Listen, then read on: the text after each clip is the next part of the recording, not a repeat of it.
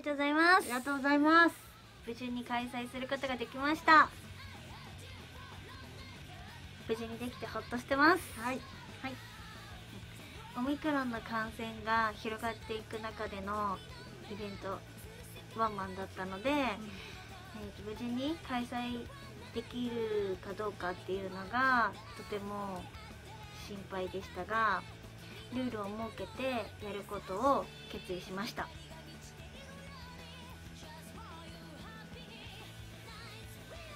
えっといろんなルールを設けたんですけどうん例えば、えっと声を出すことを禁止やあとはその場で動かずに見てください。うんその場で見てくださいっていうようなことを言いました。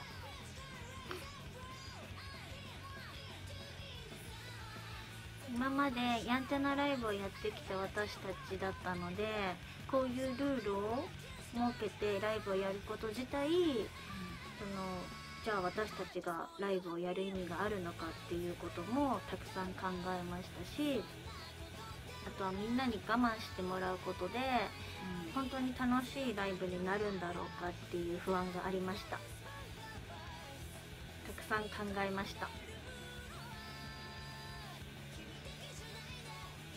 いろいろ悩んだけどやってみてよかったです。うん、よかった。はい。当日みんなが自主的にルールを守ってくれていたのがすごい伝わって嬉しかったです、普段はあのーやっぱライブハウスって自由な場所だったりもするのでこう自由にみんなが楽しんでる姿をずっと見てきたのでそのみんながそのルールの中でそれを守ってそれでも楽しもうと思ってやってくれてることがすごく嬉しかったです。感動しました。感動しました、こうみんなが協力してくれたおかげで成功できたってすごく思いました。みんなをみんなを。信じていないわけではなかったけどどうなるかなっていう思いが私たちの中で強かったのでそれもあったからみんながすごい守ってくれたことにとっても感動しました。感動しまし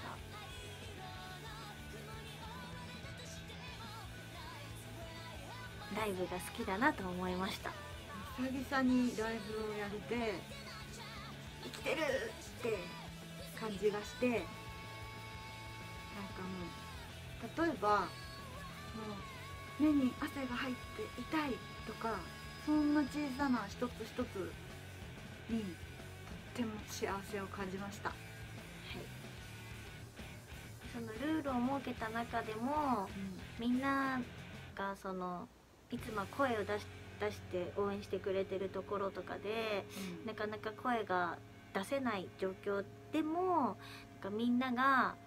エネルギーをすごいこうステージに届けよう届けようとしてくれてるのがものすごく伝わってみんなもマスクはしてるんだけどそのマスクの下で笑ってくれてるのとかも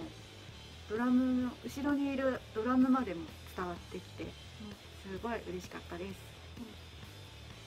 とクラウドファンディング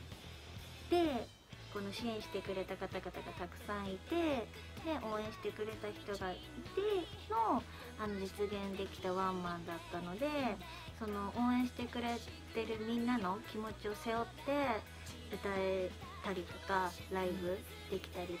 ことがすごい嬉しかったそのみんなの気持ちを背負ってステージに立てたっていうことがすごい嬉しかったです。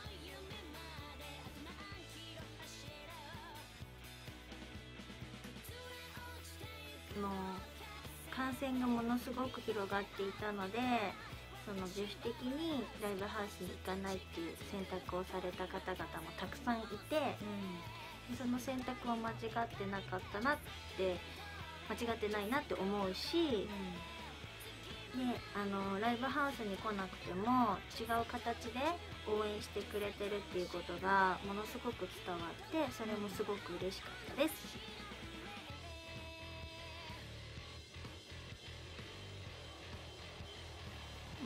自粛期間中離れている間にこうライブがない間に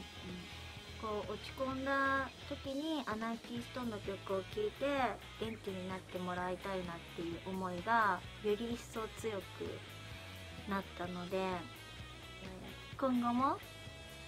みんなを元気にできる存在でいたいなと思います。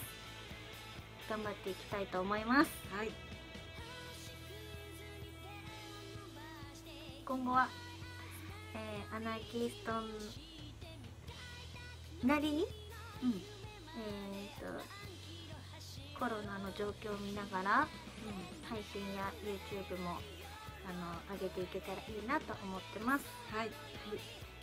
ライブもあのこういう形でもできるんじゃないかなっていうことがとても自信につながったので、うん今後のことも考えながらやっていきたいと思います。はい。いつかこの日を思い返して、あこんなレアなライブもあったんだなってあのお客さんも言ってくれてたけどうん。思える日が来たらいいなって本当に思いました、うん。早くそういう日が来てくれるといいなって思います。思います。はい。今後ともアナーキーストーンをよろしくお願いします